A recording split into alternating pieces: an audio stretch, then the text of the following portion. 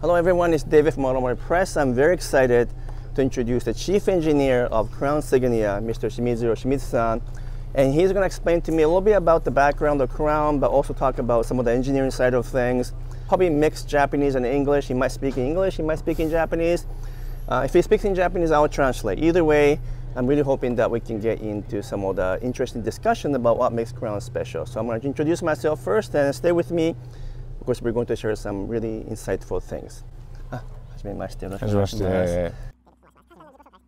Hi, uh, my name is Ryutaro Shimizu. I'm the uh, chief engineer for the new Crown series. And how long have you been working at Toyota?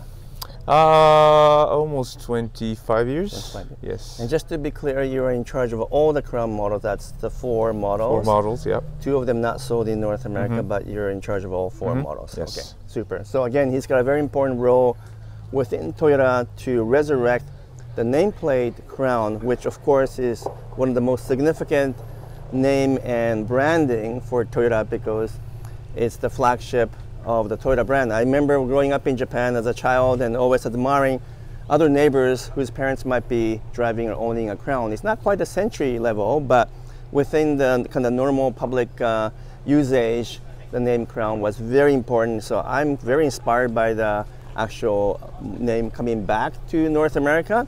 And we do have the Crown sedan, which is called the Crown Crossover in Japan.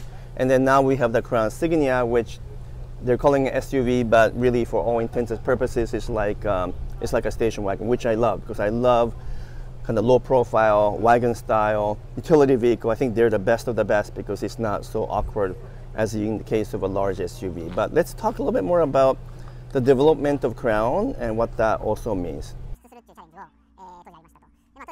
So you might be curious as to why did Toyota decide to bring the Crown nameplate back. It was 1955 when Crown was introduced as a very humble vehicle, and it is a 16th generation now, so 70 years in making. But earlier in the day, Crown was such a humble vehicle that when it first came out, maybe it didn't quite uh, win the hearts of the consumers, and so they had to retreat back and bring the uh, Crown back to Japan. But the idea was Crown being such an important brand, it needs to be resurrected, that the world needs to know how important Crown is. And with the help of Akio Toyoda, who is, if I remember correctly, really loved the idea of having a Crown back in North America, they decided to resurrect the nameplate, bring it to North America in a different form, and to bring it as a new challenge for Toyota so that they can allow globally allow people to see how wonderful the nameplate and what the crown stands for. So that's what his brief history is about. I'm going to jump into a little bit about um, the product development side in terms of if there was anything different about the way Crown was designed and engineered compared to other Toyota models. So the second question I asked is about the product development of the Crown because it's such an important nameplate. It stands for something, has a purpose, and I think um, Akio Toyoda has a personal interest in resurrecting the Crown name, so that's very important.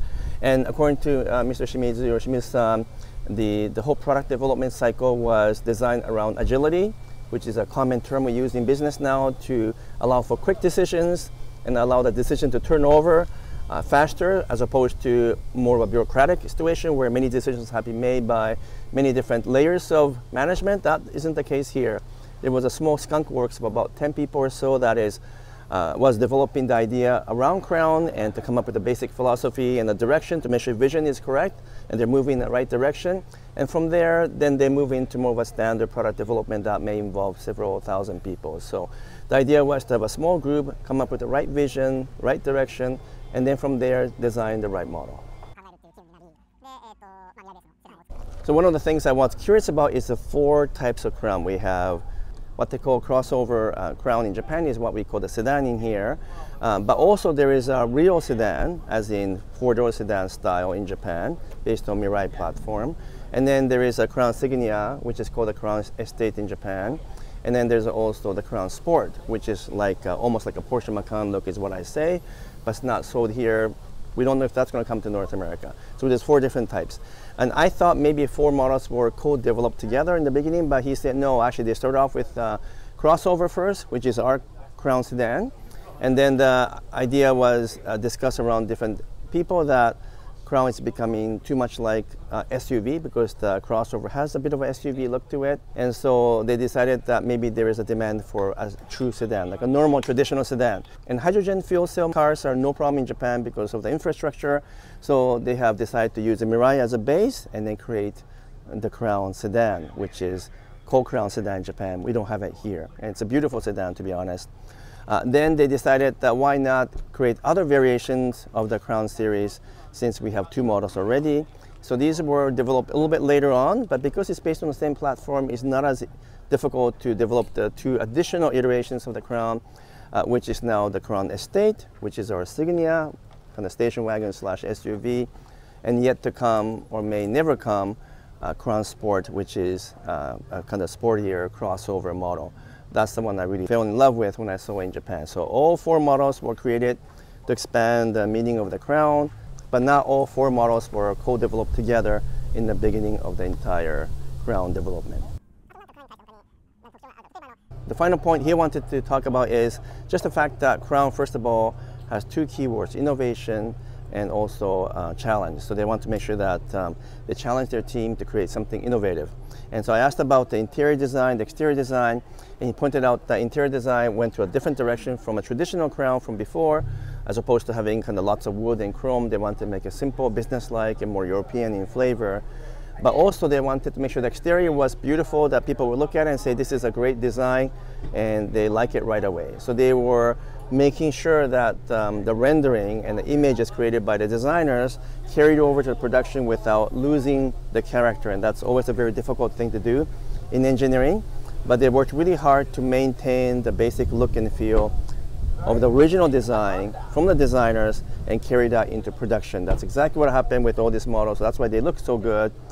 I think is the best looking um, Toyota flagship models ever produced. And that is all to do with the fact that a smaller team of like-minded people were able to come up with innovative ideas and challenge themselves to create something uh, that is up to the rank of the name Crown. So that's the history and some background story of the Crown. I think it's interesting. I love the, the whole concept behind Crown and I really enjoy driving it. And that's more to come later on. So thank you so much everyone for staying with us. And we thank Mr. Shimizu and Shimizu-san for being with us all the way from Japan. We hope to stay in touch with him. Let's give him a big round of applause for being with us. Thank you very much. Thank you very much. Thank you so much. Peace out. Thank you.